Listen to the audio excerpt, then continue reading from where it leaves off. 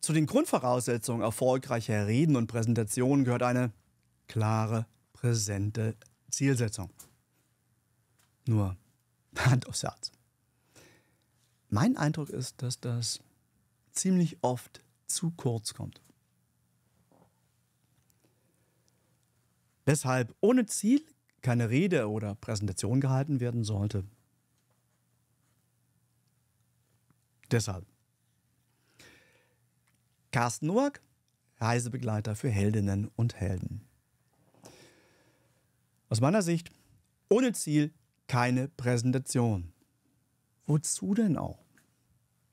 Die meisten von uns, sowohl Redende als auch Zuhörende, haben auch anderes. Also zuerst genauestens das Ziel definieren und erst dann den Redebeitrag planen. Ohne ein klares Ziel vor Augen kommt es zu mehr oder weniger ziellosem Gerede. Und damit tust du weder dir noch dem Publikum eingefallen. Wenn du Aufwand betreibst, dann wirst du dafür einen guten Grund haben, oder? Und den solltest du kennen. Also, Willst du erreichen, dass dein Publikum Anschluss mit bestimmten Meinungen, Vorstellungen, Wissen oder etwas anderem von dann zieht, dann denk drüber nach. Willst du informieren, willst du unterhalten, willst du inspirieren, willst du motivieren oder noch besser, willst du etwas Konkretes in Bewegung setzen?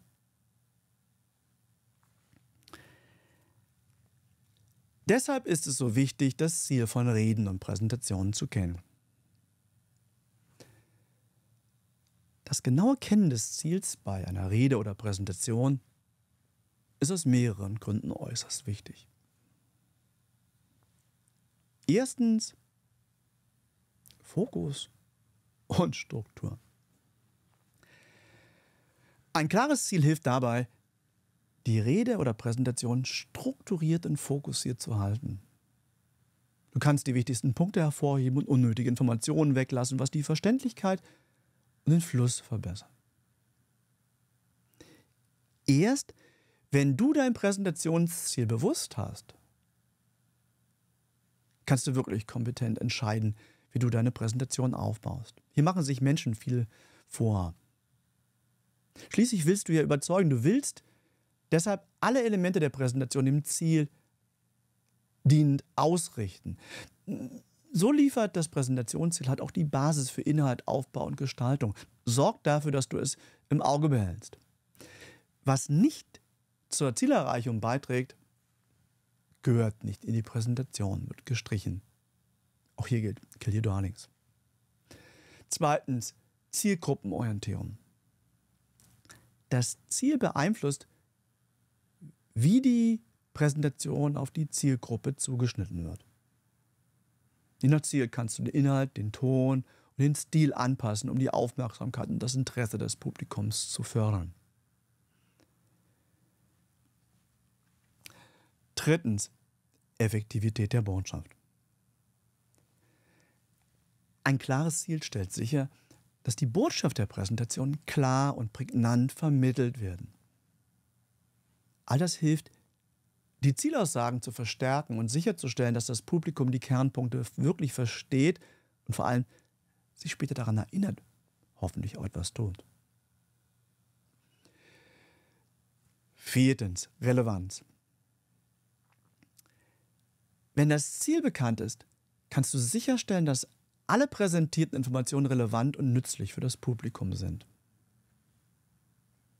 Und das erhöht die Wahrscheinlichkeit, dass die Präsentation gut aufgenommen wird und vor allem einen positiven, bleibenden Eindruck hinterlässt. Fünftens, Motivation und Überzeugung.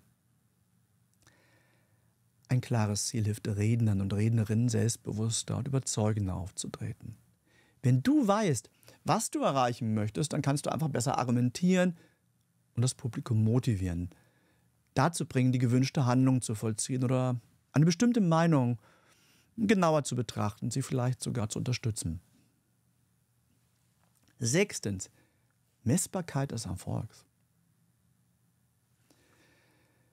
Wenn das Ziel klar definiert ist, kannst du den Erfolg der Rede oder Präsentation besser messen. Du kannst überprüfen, ob die gewünschten Ergebnisse erreicht wurden und du kannst gegebenenfalls Anpassungen für zukünftige Präsentationen vornehmen. So kannst du dich weiterentwickeln. Insgesamt trägt das genaue Kennen des Ziels wesentlich dazu bei, dass eine Rede oder Präsentation wirkungsvoll, zielgerichtet und ansprechend ist. Schriftform. Ernsthaft. Schreib das Präsentationsziel auf und behalte es während der gesamten Vorbereitung im Blickfeld. Orientierung bei der Formulierung des Redeziels liefert das sogenannte SMART-Format, das ich in einigen Beiträgen beschrieben habe.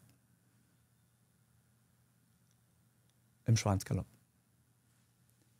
Ziele, Mehrzahl. Genau genommen gibt es einige Ziele als Redender.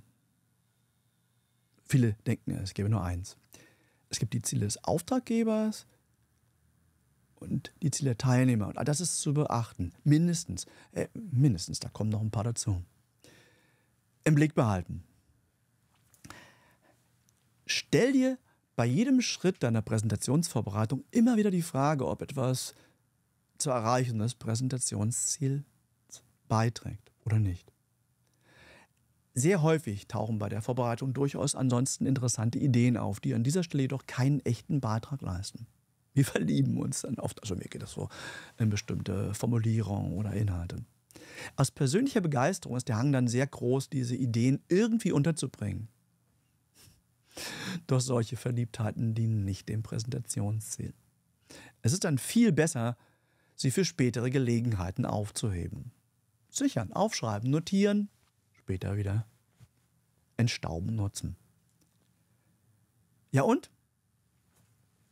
Wie stehst du zur Bedeutung von Zielen bei Reden und Präsentationen? Teil deiner Erfahrung, deine Fragen und auch respektvolle Kommentare sind willkommen. Du hast etwas zu sagen? Naja, dann sorgen wir dafür, dass es die verdiente Chance bekommt. Carsten Noack, Reisebegleiter für Heldinnen und Helden, damit du und deine Botschaft überzeugen.